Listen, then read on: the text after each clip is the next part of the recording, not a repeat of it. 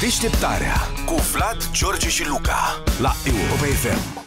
Sunt niște videouri pe net, niște filmulețe de-astea amuzante cu veverițe în sevraj. Așa e Luca atunci când aude cuvântul ciocolată.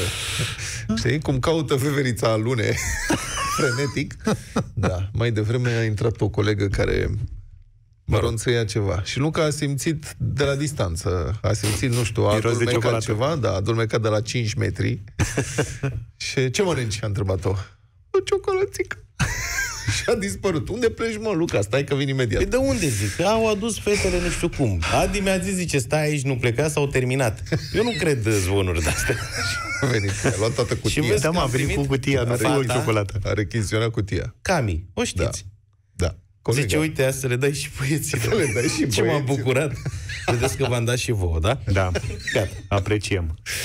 Bun, în Republica Fantastică România, acum ați văzut că se lucrează serios, s-au început să vopsească pe la Autopeni. La Autopeni este un pod în dreptul aeroportului, peste care trec mașinile, ca de desubt să se facă ambuteiaj când oamenii vor să se ducă la aeroport, să Cam plece așa. ei unde au ei de plecat. Acolo tot traficul se concentrează pe o bandă care se oprește într-un sens giratoriu.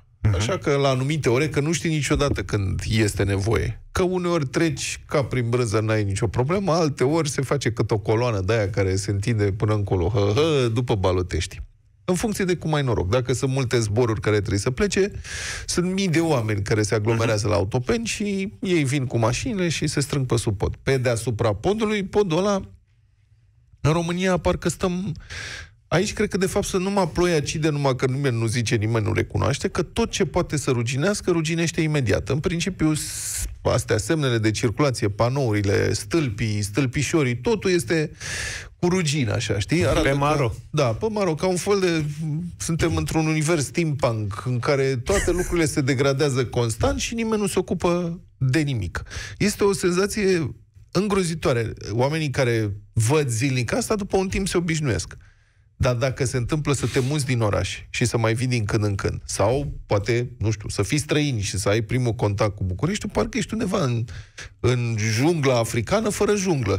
Că totul, totul se distruge Dar cu animalele în interior. cu ceva bizoni. Și din când în când, dacă, când avem noroc, se mai vopsesc chestiile. Și așa s-a întâmplat la Otopeni, unde balustradele respective sau balustrăzile, că nu știu exact Nu, cum mă, se și eu am spune. zis mai devreme esee în loc de eseuri, e o nenorocire cu Așa. pluralul în română câteodată. Nu ne pune- interesează nu schimbați subiectul. acum erorile tale. Mai târziu, acum să rămânem concentrați pe acest subiect. Așa. Da, au venit uh, muncitorii, supranumiți Dorel, săracii Dorei, eu mă gândesc la toți Dorei din țara asta, cum se simt ei vedete fără să fi vrut, și au venit să vopsească balustrăzile sau balustradele. Adică, caută și tu, te rog frumos, Imediat mă balustradă. ocup personal. Că acum m-am Tu faci, setat pe tu treaba vino, asta. rămâi în dialog. Sunt avem cu tine. producător. și cum au, au pus suflantele și au vopsit. Cu ocazie cu care Bă, da, au au vopsit, vopsit. tot ce era în jur și ce mai trecea prin jur, balustradă sau balustradă? Balustrade. balustradele, da? Inclusiv mașinile care erau parcate sub pod. Ceea ce ne duce... Deci sunt niște imagini, le-am văzut, sunt mașinile sunt cărămizii. Pentru Da. că... Au prins și oculare nasoală. Da, sunt cărămizii pe parbriz, pe tot, pe nu știu ce, sunt ceva uluitor. Pentru că de ce? Ac- și cel mai tare lucru este că după a venit poliția chemată de unul dintre, una dintre victime. Omul a venit să-și ia mașina și a văzut că mașina lui are altă culoare. Acum și-a sunat la poliție, face reclamație penală pentru destrugere, nu știu ce, mă rog, să vedem ce o să iasă din asta. Dar a venit poliția și le-a dat amendă că parcaseră ilegal sub pod. Asta pe Înțelegi? bună dreptate. Bine, oricum nu sunt parcări acolo. Deci și vopsit și cu banii luați. Băi, Păi da, ce au pățit mașinile astea este ireal. da, Serios. Adică eu mă gândesc cu oamenii aia care au dat, care au dat drumul la jet. da. Știi?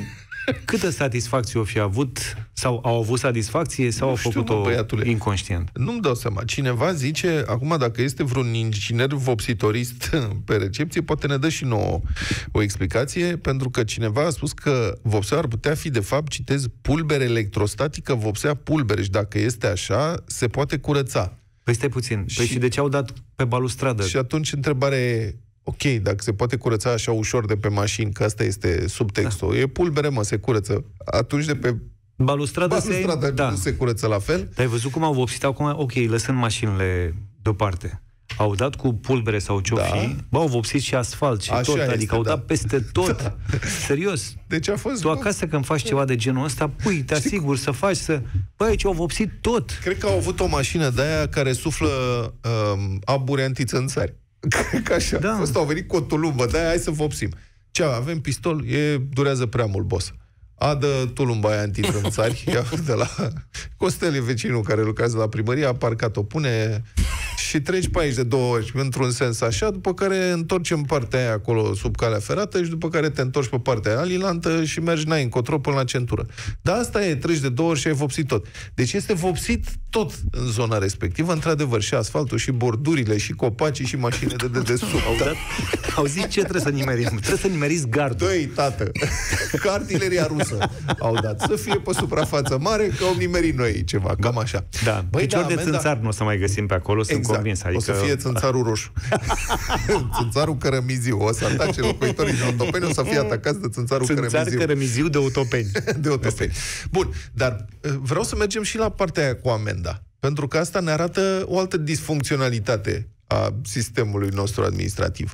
Oamenii parchează sub podul de la Otopeni pentru că l- acolo sunt, li- literalmente, dacă vrei să te duci cu mașina la aeroport, nu, nu ai unde să parchezi. Dar, deci este penurie de locuri de parcare din totdeauna. În jurul aeroportului s-a dezvoltat o industrie întreagă de parcări private, care sunt mai organizate sau mai puțin organizate. Eu am parcat o dată la una din Și- parcări, te, ia, te duci Da. acolo, lași mașina Ușată. și te aduc ei cu Unele microbuzul. sunt asfaltate, altele sunt în praf, pe pământ, pe pietriș, pe Da. da. cum o fi, fiecare... Bun. În marginea aeroportului se construiește acum și probabil că va fi dată în folosință curând o parcare supraetajată, cred că are trei etaje sau patru etaje. Da, privată. Mare, privată, da. Oamenii ei au făcut acolo, când treci peste pod, dacă te uiți într-o parte, se vede.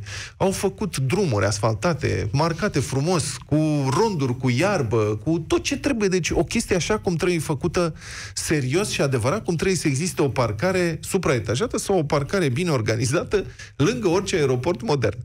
În schimb, la aeroportul Otopeni, ori aeroportul național al României, internațional, cel mai tare aeroport dintre toate, ăștia nu sunt în stare să repare WC-urile dinăuntru, că te duci dacă zbori mai des, bă, același WC este stricat cu lunile, de fiecare dată te duci, sau nu curge apa la rubinetul șucareci. Nu mai repară nimeni.